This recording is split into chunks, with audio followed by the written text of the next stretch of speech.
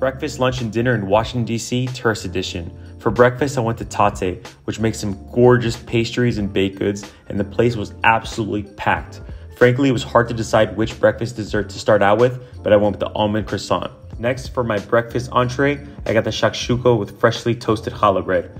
This had an incredible flavor and was a healthy portion. For lunch, I had to go to Ben's Chili Bowl, which is an absolute institution in DC. Their half-smoked sausage with chili was a favorite by my snack role model. I gotta say, I'm not normally a big chili cheese dog guy, so I was skeptical going in, but I'm happy to report I was definitely wrong. This was delicious and lives up to the hype.